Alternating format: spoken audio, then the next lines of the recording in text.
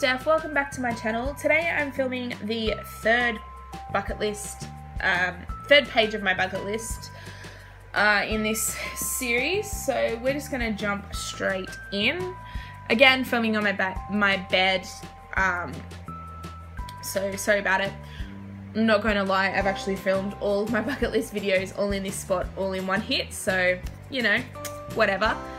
Anyway, so my first category is supernatural. Before I start on this, I am just going to say I do know that a lot of this stuff is not realistic, um, or possible, or plausible, and I know a lot of people have a lot of different opinions on stuff like this. I obviously as it's included as a section in my bucket list I do have a very specific opinion on it. So if you guys would like a video on my supernatural um, and paranormal type opinions and experiences and stuff leave me a comment below so I have have my past lives read, have my palm read, learn to read tarot cards, have my astrology chart made, sleep in a haunted house, participate in or witness a seance, Find a, a Ouija board, have my aura read, go on a UFO hunt, and bend a spoon with my mind. Now, I'm going to break these down for you. Have my past lives read and have my palm read. I've actually had my palm read once before.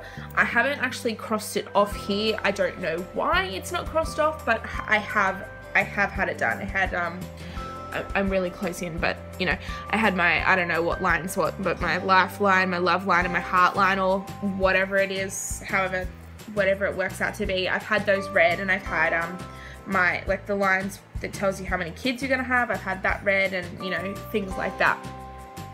Having my past lives read, that's the one thing that I want to do, and every time I go to a psychic, they never do it. They never do it for me, and I don't like it. That's the one thing I want to do um, it's, you know, yeah, I'm gonna have to cross off have my palm read. Learn to read tarot cards. I haven't learnt fully yet how to do this. However, I do have my own set of tarot cards and I am uh, practicing and I am learning and I have, I did actually have a lesson on this um, from a, a psychic once before. So I have, well not a lesson, but sort of, you know, like a guidance session type thing on how to do it. Um, so yeah, that like that's sort of a work in progress one at this point. It will get crossed off soon. I'm hoping maybe in the next year or so when I feel confident enough that I've learned to do it well enough to do it for other people. Um, have my astrology chart made. I'm not into astrology by any means, but I am interested to see what sort of, you know, what what astrology can predict for you and how things can line up and stuff. I'm a Capricorn, so I'd love to sort of, you know, know how that all sort of ties in. Sleep in a haunted house. Who hasn't wanted to do this at least once in their life? Like, that's just awesome. So I really want to do that. Participate in or witness a seance. I want to do this in a graveyard. And I know that sounds really sadistic and really, you know, insensitive and things like that to the deceased and stuff. But seances in the in a graveyard for specific people are very interesting to me and I do really enjoy it. But if I don't do it there and I do it somewhere else, you know, that's fine. Buy a Ouija board.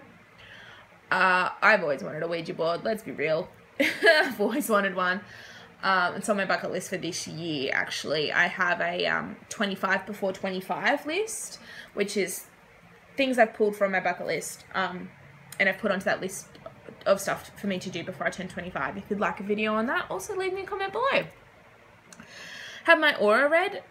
Again, I'm not really into auras and stuff, but I would love to know what kind of aura I have because I get described very differently by many different people.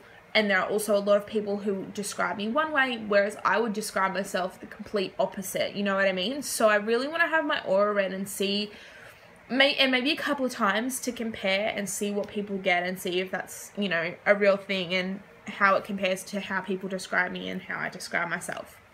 Go on a UFO hunt. I actually don't think that's what they're called, but I want to go to like a place where something UFO related happens quite often and I want to go hunting for them, essentially. I just think that would be fun. Bend a spoon with my mind. Okay, I know that this is probably going to open up a massive can of worms. I know that's not really a thing. Don't need to tell me that. I just find it interesting and I, I, you know, if it was ever to become a real thing, I would so want to do it. So it's just on there as a little bit of a fun thing that I know I'm never going to accomplish, but yeah, it's, it's just fun. Next up is art, and I just have three here, and these are works of art that I want to see in person, the, the, the original in person. I want to see Mona Lisa uh, by Leonardo da Vinci, which I think most people would have on their list. Guernica by Pablo Picasso. The reason this one is on my list um, is because Inis, actually I'm going to come back to that. Uh, the Scream by Edvard Munch, again, an obvious one like Mona Lisa. Now Guernica, it is on my list because um, in year seven, I had an art teacher, Mr. Roberts, who really helped me channel my very specific form of art. I I have always been very artistic, but I was 12 years old. I hadn't really I'd been encouraged by my parents for drawing and painting and things like that, but I never really had sort of that kind of outlet. And he really encouraged me to bring it all to the forefront. He um, was also my father's teacher and my mother's teacher when they were at school, so I held a very, I felt very close to him on a different level, and he just really inspired me and really sort of helped me bring out that kind of um, aspect of myself and I, I owe him for a lot of my creativity to be perfectly honest. Again, he will never see this either. Um, he, he's never going to see this this video, but I, you know, he was a very special teacher to me and I, I, I treasure him. Um, yeah, so, uh, so carnivals and major events is the next one. And these are carnivals slash major events that I want to go to or want to see. So I've got Oktoberfest, Rio Carnival, Mardi Gras, Cirque du Soleil, the Olympic Games, Walking with Dinosaurs, Riverdance, and Tap Dogs. Now, obviously these are these are things that people do know, and there's a lot that I want to add to this list that I have not added to it. I will get to those in another video, but yeah, this is where I'm at right now. Oktoberfest, obviously, why not? Alcohol. Uh, Rio Carnival, that's just that's just the original Mardi Gras, and it's just it's it's the original festival, and I'm so into it. Mardi Gras, by this I mean New Orleans. However, I did put a line down the middle and cross off one side because I have been to the Sydney Gay and Lesbian Mardi Gras. I will get to that in another video as well. Cirque du Soleil, I have been to Cirque du Soleil. It is also crossed off. I've actually been to two. I've seen um, OVO and Quidam, and I actually want to see every single Cirque du Soleil show in the world. The Olympic Games. I've never been to the Olympic Games, but in 2000, when the Olympics were in Sydney, I did go to the closing ceremony of the Paralympic Games.